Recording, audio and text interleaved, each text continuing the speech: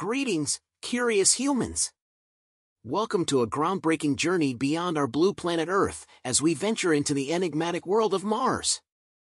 I am SciBot GPT, your AI educator, and today, we're embarking on a thrilling quest to uncover one of the most significant mysteries of the red planet, water on Mars. Mars, our neighboring planet, has long captivated the human imagination. Its barren deserts, frigid polar caps, and ancient volcanoes have tantalized scientists and astronomers for centuries. But amidst this arid landscape, tantalizing clues suggest the presence of a vital ingredient for life as we know it, water. Over the decades, robotic emissaries from our planet have been exploring the Martian surface, gathering crucial data to help unlock the secrets of this alien world. From the Viking landers in the 1970s to the modern-day rovers like Curiosity and Perseverance, each mission has provided us with vital pieces of the puzzle. Today, we'll delve into the fascinating discoveries made by these intrepid explorers and the ingenious methods scientists have used to study the elusive water on Mars. We'll also unravel the implications these findings hold for our understanding of the planet's history and the potential for extraterrestrial life. But before we dive deeper into this captivating mystery, let's explore why water is so crucial for the existence of life, and why its presence on Mars could have profound implications for the future of human space exploration. So, dear space enthusiasts, fasten your seatbelts as we embark on this riveting voyage to unravel the mysteries of water on Mars. If you're as curious as I am about the cosmos and its endless wonders, be sure to hit that subscribe button and ring the notification bell so you won't miss any of our captivating space odysseys. Join me in our mission to unveil the hidden truths of Mars. Let's blast off on this epic adventure together. On Mars today, water primarily exists as ice, with small quantities of vapor in the atmosphere. The presence of liquid water was once thought to occur as low-volume liquid brines, but recent findings suggest that these may be grains of flowing sand and dust. Water ice is exposed at the surface in several locations, including impact craters, scarps, gullies, and the polar ice caps. Although transient liquid water may exist on the Martian surface in the form of thin films and traces of dissolved moisture, the low atmospheric pressure prevents large standing bodies of liquid water. Billions of years ago, Mars likely had a denser atmosphere and higher temperatures, supporting vast amounts of liquid water, potentially even an ocean covering a third of the planet's surface. Today, Mars is dry and subfreezing, with a thin atmosphere and no thick ozone layer or magnetic field to protect against harmful radiation. This harsh environment makes it challenging for life to survive on the surface. Subsurface environments may hold more promise for potential habitats. Understanding the distribution and extent of water on Mars is crucial for evaluating its potential for harboring life and providing resources for future human exploration. NASA and ESA missions have provided valuable data on water's abundance and distribution, and discoveries are ongoing. In September 2020, scientists confirmed the existence of several large saltwater lakes under ice in the south polar region of Mars. Furthermore, in March 2021, researchers reported that a significant amount of water has likely been sequestered into the rocks and crust of the planet over the years. Overall, exploring water on Mars is a vital scientific pursuit to unravel the planet's history and assess its potential for life and human exploration. The idea of water on Mars dates back hundreds of years before the space age early telescopic observers correctly identified the white polar caps in clouds as indications of water's presence. Astronomer William Herschel, in 1784, speculated that Mars might offer conditions similar to Earth and could possibly harbor inhabitants. By the 20th century, astronomers realized that Mars was much colder and drier than Earth, and the notion of oceans on the planet was abandoned. Astronomer Percival Lowell popularized the idea of a dying planet with limited water, envisioning Martians constructing canals to transport water from the poles to the equator. While his ideas gained public enthusiasm, they were largely rejected by the scientific community. Spectroscopy was employed to study the Martian atmosphere, and while carbon dioxide was confirmed in 1947, water vapor detection did not occur until 1963. The polar cap's composition was initially believed to be water ice, but in 1966, it was confirmed that the caps were primarily composed of carbon dioxide ice, with a permanent cap of water ice at the northern pole during summer. Mariner 4's mission in 1965 provided critical information, showing a surface with impact craters, suggesting little erosion and a lack of recent liquid water activity. The spacecraft also revealed an atmospheric pressure less than 1% of Earth's, making liquid water existence improbable. Later, Mariner 9 presented a more dynamic Mars, indicating a more favorable past environment than the present one.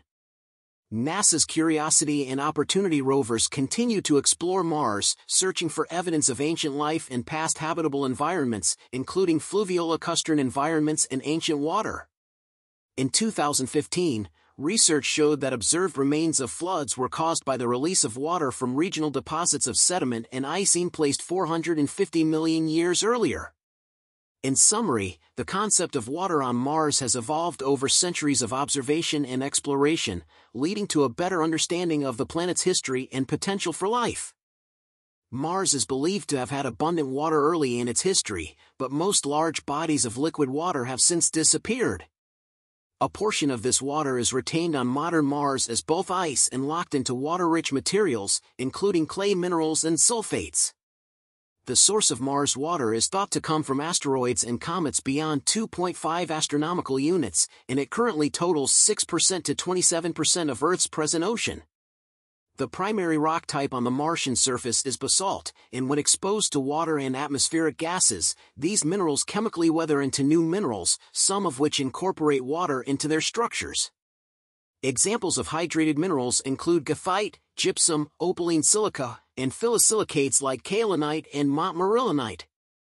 Aqueous minerals are sensitive indicators of past environmental conditions on Mars pH and oxidation reduction potential play crucial roles in determining which minerals are thermodynamically stable and likely to form from specific aqueous components. Hydrothermal alteration can also lead to the formation of aqueous minerals in the subsurface, driven by migrating hydrothermal fluids. Serpentinization is one such process that creates an alkaline and reducing environment, favoring the formation of certain phyllosilicates and carbonate minerals, potentially providing habitats for chemosynthetic organisms. Weathering rates of primary minerals into secondary aqueous minerals vary, with olivine being one of the most common minerals that weather rapidly on Mars. Overall, the presence of aqueous minerals on Mars offers insights into the planet's past environmental conditions, including those potentially conducive to supporting life. Over 60 meteorites from Mars have been found on Earth. Some of these meteorites show evidence of exposure to water while on Mars, with some even suggesting exposure to liquid water. Meteorites like basaltic shergottites appear to have been in contact with liquid water before being ejected into space. The Nakhlites, another class of Martian meteorites, were found to have been infused with liquid water around 620 million years ago and were ejected from Mars about 10.75 million years ago. In 1996, there were reports of possible microfossils in the Allan Hills 84001 meteorite from Mars, but the interpretation was later disputed, and most of the organic matter was found to be of terrestrial origin. Evidence of water on Mars is also observed through geomorphic features like river valleys and lake basins. Images from the Mariner 9 spacecraft revealed huge river valleys, floods, and branched streams, suggesting that rain once fell on Mars. Mars Global Surveyor discovered many examples of inverted streams, where sediments deposited on the floor of a stream became resistant to erosion, creating visible streams when the covering layer eroded away. Various lake basins have been identified on Mars, some comparable in size to Earth's largest lakes. Some of these lakes may have formed from precipitation or groundwater, and their existence suggests a cold, dry hydrological environment in Mars past. In 2012, NASA's Curiosity rover found direct evidence of an ancient streambed in Gale Crater, indicating a past vigorous flow of water on Mars pebbles and gravel fragments in the streambed suggested long-distance transport from higher elevations. The Eridania Lake is a theorized ancient lake on Mars, covering a vast surface area and holding a considerable volume of water. Research with CRISM found thick deposits containing various minerals, including some associated with hydrothermal processes, possibly suggesting potential places where life could have originated. Overall, the evidence of water on Mars through meteorites and geomorphic features provides valuable insights into the planet's past climate and potential for habitability. Researchers have discovered evidence of deltas on Mars, indicating the presence of significant liquid water in the past deltas typically form in stable, deep water over extended periods. These features have been found across a wide geographical range, with some indication that they may be more concentrated around the edges of a former northern ocean on Mars. In the past, it was thought that outflow channels were created by catastrophic ruptures of subsurface water reservoirs, leading to massive flooding across the Martian surface. However, the branching valley networks observed on Mars suggest a different process. Some researchers propose that these valleys were formed by slow seepage of groundwater from the subsurface, resembling springs. The upstream ends of many valleys in these networks start with amphitheater heads, which are associated with groundwater seepage on Earth. Groundwater has also played a crucial role in controlling sedimentation patterns on Mars. It is believed that groundwater with dissolved minerals came to the surface in and around craters, forming layers by adding minerals and cementing sediments, this cementation process helps preserve and protect the layers from erosion.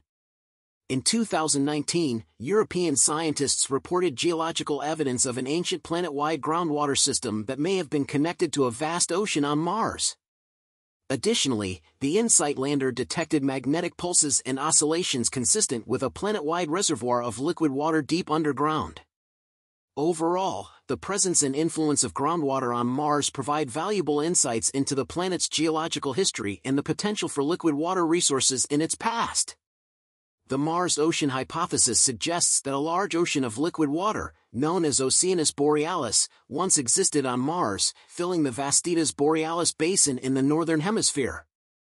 Evidence from various studies points to the presence of two putative shorelines, with the higher one dating back to approximately 3.8 billion years ago and the lower one possibly correlated with younger outflow channels. Debate continues among scientists about the existence and extent of this ancient ocean. Studies using data from Mars missions have estimated that the primordial Martian ocean could have covered around 36% to 75% of the planet's surface this ocean would have required a warmer climate and denser atmosphere to support liquid water at the surface. The presence of numerous valley networks on Mars also supports the possibility of a past hydrological cycle. Some features interpreted as ancient shorelines have been met with skepticism, and explanations for the non-flatness of the conjectured 2-billion-year-old shoreline have been proposed, such as changes in Mars mass distribution due to volcanic activity or meteor impacts. In 2015, scientists reported evidence supporting the idea of an ancient Martian ocean in the planet's northern hemisphere, approximately the size of Earth's Arctic Ocean. A high ratio of deuterium in the Martian atmosphere compared to Earth suggests higher past water levels on Mars. Subsequent evidence, including signs of tsunamis and impact craters, has added support to the hypothesis of a northern ocean that may have persisted for millions of years. In January 2022, a study on the climate of Mars 3 billion years ago proposed a stable ocean with a closed water cycle, including the circulation of the ocean, which could have prevented it from freezing and led to the formation of ancient glacial valleys. While the idea of an ancient Martian ocean remains a topic of ongoing research and debate, the evidence suggests that Mars may have had significant liquid water in its distant past, which has significant implications for understanding the planet's geologic history and potential habitability. The presence of liquid water on the surface of Mars is limited due to its low atmospheric pressure and low temperature, which would cause pure liquid water to boil except at the lowest elevations for a short period during the warmest months. However, observations from NASA's Mars Reconnaissance Orbiter in 2006 revealed gully deposits that were not present a decade earlier, suggesting the possibility of flowing liquid brine during the warmest months on Mars.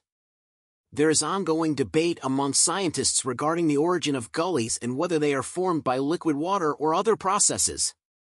Some studies propose that the flows carving gullies could be dry grains or lubricated by carbon dioxide. Others suggest that the gullies forming in the colder regions could be a result of solid carbon dioxide melting during warmer summer months, forming liquid carbon dioxide that creates the gullies. In 2011, NASA announced the discovery of recurrent slope lineae, RSL, dark streaks seen to grow downslope during the warmest part of Martian summer and fade during the rest of the year. These streaks were proposed to be consistent with salty water flowing downslope and evaporating, possibly leaving behind some residue. Spectroscopic observations confirmed the presence of hydrated chlorate and perchlorate salts in the lineae, indicating the presence of liquid water molecules. However, the exact source of the water remains unknown. An alternative scenario suggests that the RSLs may be caused by a Knudsen pump effect, where shadows in a granular material create dry granular avalanches. Some researchers argue that the detection of water in RSLs was only indirect, via salt detection but not direct water detection, and the water on Mars may be limited to traces of dissolved moisture from the atmosphere and thin films, making it challenging for life as we know it to exist. The nature of the RSLs and the potential presence of liquid water on Mars continue to be subjects of active research and debate in the scientific community. Observations from spacecraft orbiting Mars have detected significant amounts of surface hydrogen, which is believed to be incorporated into the molecular structure of ice. Stoichiometric calculations have revealed widespread and abundant water ice on the present surface of Mars.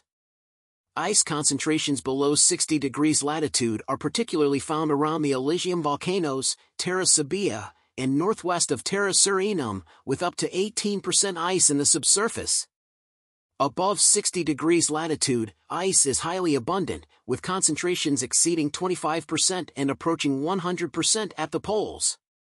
The Mars Odyssey neutron spectrometer indicates that the globally averaged Martian surface contains approximately 14% water if all the ice in the top meter were spread evenly.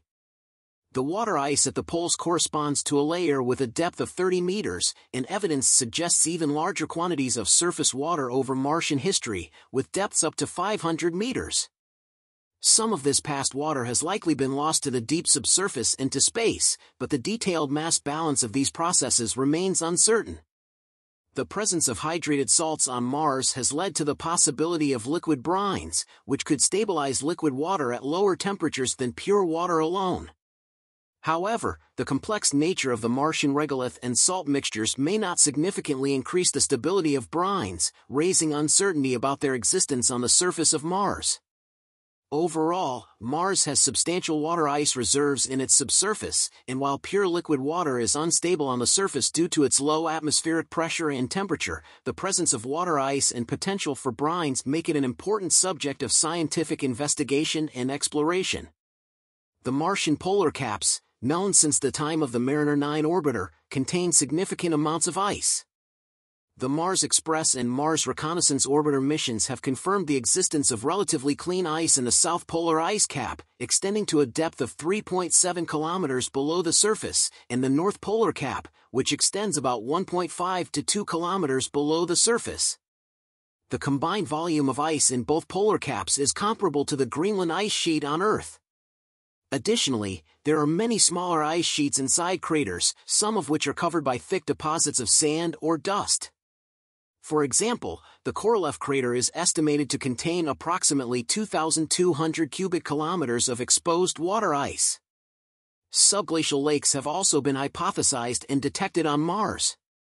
In July 2018, scientists reported the discovery of a subglacial lake about 1.5 kilometers below the southern polar ice cap, spanning 20 kilometers horizontally. In September 2020, three more subglacial lakes were reported in the same region.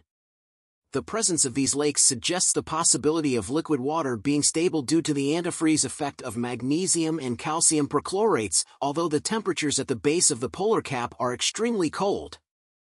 The source of heat necessary to maintain liquid water could be attributed to geothermal activity or nearby magmatic activity. If liquid lakes do exist on Mars, the water would likely be mixed with soil to form a sludge, and the high levels of salt in the water may present challenges for life as we know it. However, some organisms on Earth, known as halophiles, thrive in extremely salty conditions and may provide insights into how life could adapt to such environments on Mars. Various features on Mars suggest the presence of frozen water beneath its surface, resembling periglacial regions on Earth. These features include patterned ground, scallop-shaped depressions, and eroding slopes showing exposed water ice sheets covered by soil. These ice deposits hold clues about Mars' climate history and make frozen water accessible for future exploration. The Mars Reconnaissance Orbiter, MRO, and Mars Express missions have provided evidence for significant amounts of water ice in both polar caps, with some ice sheets as thick as 100 meters, covered by a layer of soil. The existence of subglacial lakes has also been hypothesized, and in 2018, a subglacial lake about 1.5 kilometers below the southern polar ice cap was detected, with more discovered in 2020. Additionally, many patches of ice have been found scattered across the Martian surface, particularly in the mid-latitudes. These patches are often covered by debris to prevent complete sublimation. Some surface features in the southern Elysium planitia resemble existing pack ice, indicating possible frozen lakes in the region. The discovery of underground ice in the Utopia planitia region, equivalent to the volume of water in Lake Superior, further supports the presence of significant water resources on Mars. These water resources could be crucial for future robotic or human explorations on the planet large areas of Mars are believed to host glaciers or show evidence of past glacial activity. These glacier-like features are known as viscous flow features, Martian flow features, lobate debris aprons, or lineated valley fill, depending on their characteristics and locations. Many of these glaciers are found in high latitudes and are suspected to contain significant amounts of water ice protected from sublimation by thin coverings of insulating rock and dust glaciers on Mars have been identified in various regions, including Hecates Tholus, Arsia Mons, Pavonis Mons, and Olympus Mons. They are often associated with gullies and volcanoes. Lobate debris aprons are glacier-like features that contain almost pure ice covered by a layer of rocks. Moving ice on Mars carries rock material and leaves behind features known as moraine-like ridges, concentric ridges, or arcuate ridges. These ridges provide evidence of the direction of ice movement. Mars glaciers are typically cold-based, meaning they are frozen down to their beds and cannot slide, resulting in unique glacial features compared to those on Earth. While there is strong evidence for glacial flow on Mars, there is little evidence for landforms carved by glacial erosion, like U-shaped valleys or drumlins, which are abundant on Earth. This is attributed to the cold-based nature of recent glaciers on Mars, which inhibits their ability to erode the surface. The presence of glaciers and glacial features on Mars provides valuable information about its past climate and water history, and their study is crucial for future explorations on the planet. Mars' surface water content has undergone significant changes throughout its history, influenced by various stages in the evolution of its atmosphere. During the early Noachian era, heavy meteoritic bombardment and hydrodynamic escape resulted in atmospheric loss to space. This period may have seen the formation of phyllosilicates, indicating moderate water-to-rock ratios. In the middle to late Noachian era, Mars potentially developed a secondary atmosphere from outgassing dominated by the Tharsis volcanoes, leading to widespread surface water evident in Martian valley networks. The end of this era coincided with the termination of the internal magnetic field and increased meteoritic bombardment. During the Hesperian to Amazonian era, sporadic outgassing events and solar wind stripping of the atmosphere led to fluctuations in atmospheric enhancement. Catastrophic floods occurred during this period, favoring sudden subterranean release of volatiles. Oxidative processes, including the formation of iron 3 oxide, contributed to the reddish hue of the Martian surface. Mars has experienced ice ages, driven by changes in its orbit and tilt.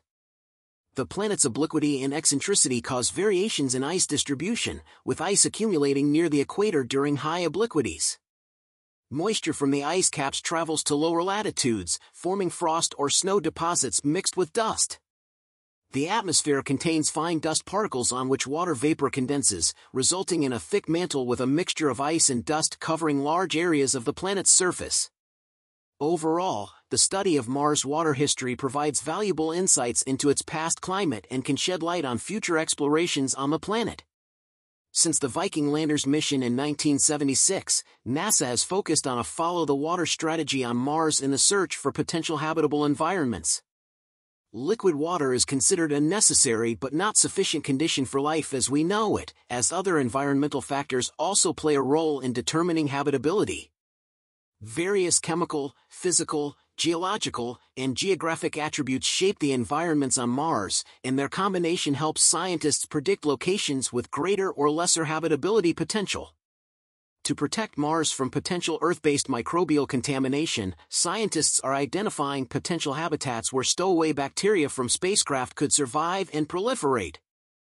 They believe that evidence of past or present life on Mars could be found in subsurface environments, shielded from harsh surface conditions like perchlorates, ionizing radiation, desiccation, and freezing. Habitability may extend kilometers below the surface in a hypothetical hydrosphere or near the subsurface in contact with permafrost. Several rovers and missions, such as Curiosity and the ExoMars program, are dedicated to assessing Mars' past and present habitability potential. They investigate biosignatures and search for evidence of past water, which is crucial for understanding the planet's history and potential for life. Over the years, various missions, including Mariner 9, Viking Program, Mars Global Surveyor, and Mars Pathfinder, have provided significant findings regarding water on Mars. Evidence of dry river beds, canyons, erosion and deposition patterns, and weather fronts suggests the presence of past water on the planet. Outflow channels and branched valley networks provide further indications of water activity. The mineral composition analyzed by instruments like the Thermal Emission Spectrometer on Mars Global Surveyor and the presence of olivine have helped identify dry regions. However, the extremely low atmospheric pressure on Mars makes it challenging for pure liquid water to exist on the surface. Overall, these missions and discoveries have advanced our knowledge of water's role in shaping the Martian landscape and provided valuable insights into the potential for habitable environments on the Red Planet. The 2001 Mars Odyssey mission provided significant evidence for the presence of water on Mars. The orbiter's neutron spectrometer revealed that much of the ground on Mars is loaded with water ice, and the planet has enough ice just beneath the surface to fill Lake Michigan twice. Mars has a high density of ice just under the surface from 55 degrees latitude to the poles, with 1 kilogram of soil containing about 500 grams of water ice. However, close to the equator, the soil contains only 2% to 10% water. Scientists believe that much of the water is also locked up in the chemical structure of minerals, such as clay and sulfates. The orbiter discovered vast deposits of bulk water ice near the surface in equatorial regions the presence of water is seen morphologically and compositionally at locations like the Medusae Fossae Formation and the Tharsis Montes. Evidence suggests that the southern hemisphere may have a layered structure, indicating stratified deposits beneath a now extinct large water mass. The Phoenix lander further confirmed the existence of large amounts of water ice in the northern region of Mars. It discovered dice-sized clumps of bright material that vaporized, strongly indicating they were composed of water ice. Phoenix also detected water vapor when heating a sample to 0 degrees Celsius, demonstrating the presence of stable liquid brine droplets. Additionally, the lander observed permafrost polygons and seasonal snowfall from cirrus clouds. The Mars exploration rovers, Spirit and Opportunity, found extensive evidence for past water on Mars. Spirit discovered hints of water history in a rock named Humphrey and evidence of silica-rich patches. Opportunity detected goethite, carbonate-rich rocks, and hematite, all indicative of past water. It also found layered rocks and blueberry-like hematite concretions. Overall, the findings from these missions support the idea that Mars once had significant amounts of water flowing across its surface, and the presence of ancient wet environments suggests the planet's potential for habitability in the past. And that concludes our fascinating journey into the captivating world of water on Mars. From the groundbreaking discoveries of the Mariner 9 mission to the latest findings from the Mars Reconnaissance Orbiter and other rovers, we've delved deep into the tantalizing evidence of water-related processes on the Red Planet. Throughout this video, we've learned that Mars has a complex and dynamic history with water, and the presence of ancient riverbeds, canyons, and lake-like features points to a time when liquid water flowed freely on its surface. The detection of water ice beneath the subsurface and the existence of present-day water ice near the equator have challenged our understanding of Martian climate and geography. The implications of water on Mars extend beyond scientific curiosity. The search for water and potential traces of life has been at the heart of our exploration of the planet. As we continue to uncover more about Mars, the quest to understand whether life ever arose there intensifies, sparking imaginations and inspiring the next generation of explorers. If you enjoyed this video and want to stay up to date with the latest discoveries and space exploration content, don't forget to hit that subscribe button and ring the notification bell. And as always, feel free to share your thoughts, questions, or suggestions in the comments below. Your support keeps our mission of exploring the cosmos and sharing knowledge alive. Thank you for joining us on this incredible journey through the mysteries of water on Mars. Until next time, keep exploring, keep learning, and keep dreaming of the wonders that lie beyond our planet's boundaries. This is SciBot GPT, signing off and remember, the sky is not the limit, it is only the beginning.